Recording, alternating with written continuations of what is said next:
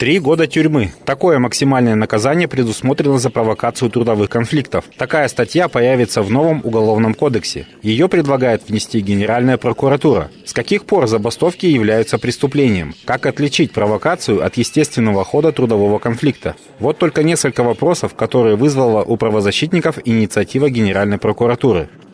По моему представлению, это э, норма, э, с моей точки зрения, необдуманная, эта норма неопределенная, и эта норма дает возможность, особенно в условиях нашего зависимого правосудия, дает возможность властям преследовать э, лидеров э, рабочих организаций, профсоюзов, рабочих активистов.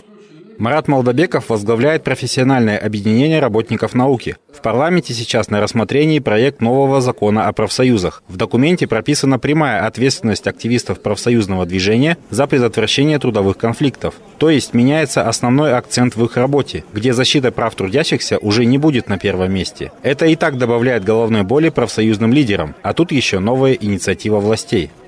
Причина кроется только в работодателях, только в них касается. Вот. Но на практике может получиться так, что и профсоюзный комитет может быть тоже привлечен к ответственности за то, что он активно поднимает этот вопрос.